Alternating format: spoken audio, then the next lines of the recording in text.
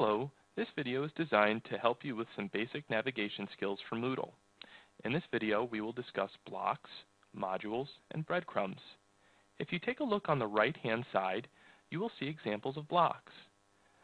Let's take a look at the latest news block. The latest news block contains information that updates students about information within the course, such as a change in a due date for an assignment. The Turn Editing On button is for instructors only so they can edit courses and add activities. Students will not have access to the Turn Editing On button. Now let's go down to the Activities block. The Activities block provides a consolidated view of all the activities included with the course.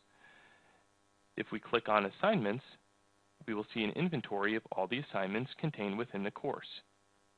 You can also see an inventory of all the forums, journals, quizzes, resources, and workshops, and any other activities that have been included with the course.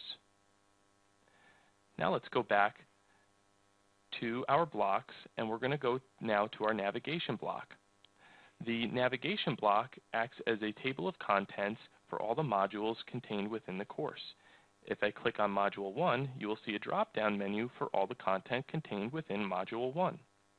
Now we're going to scroll down to the administration block. The administration block may look a little bit different for students. I'm in a manager role right now, so I have some, may have some different options. But for a student, you may want to check your profile settings and edit your profile, which we'll talk about in a later video. Um, and for instructors, you have reports option where you can track student participation. Um, students, you can also check your grades um, from this administrative block let's go ahead and scroll down to the Quick Mail block. The Quick Mail block offers the opportunity for students and instructors to interact and also for students to interact with other students. You can compose uh, emails within Moodle by clicking on Compose New Email.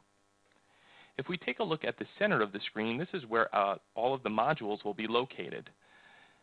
If we take a look at the top portion of the screen here, these are what we call breadcrumbs. So if I click on the M1 Learning Guide within Module 1, and I start to navigate through Module 1, but I want to get back to the home screen of the um, course that we're in, I can go to one of the breadcrumbs up here and click the example course. And this, this example course breadcrumb brings me right back to the home page of the course. This concludes the video on blocks, modules, and breadcrumbs.